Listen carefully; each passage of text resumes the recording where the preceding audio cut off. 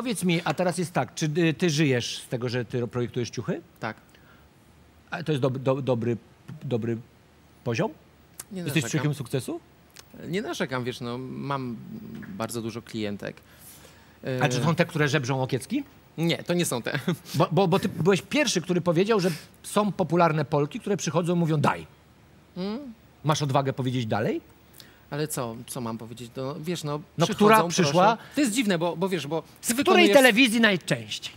Nie, Pamiętaj, ja gdzie nie jesteś. dzielę, Ja ich nie dzielę na telewizję, na, na, po prostu dzielę na osoby, które Mhm. robią e, jakieś prace, za które dostają pieniądze i żeby Mhm. wykonywać te prace, potrzebują nową rzecz. No.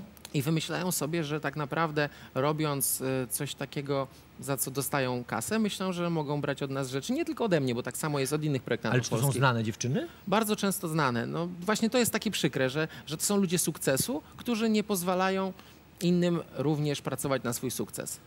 I co to znaczy, że ty jesteś w sklepie, ona wchodzi, przymierza i mówi, no to ja już będę leciała. To będę nosiła ja.